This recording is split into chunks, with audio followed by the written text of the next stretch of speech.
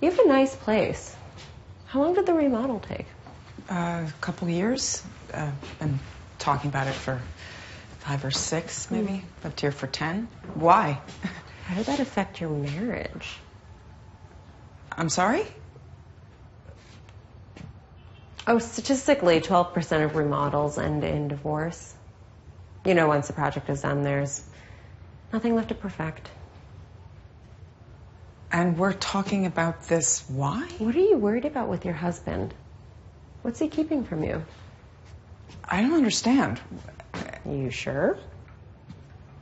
Am I sure that I don't understand? Yeah, because I just can't figure out if he's trying to solve a problem or if he's acting like he's trying to solve a problem or if he's acting like he's acting like he's trying to solve a problem.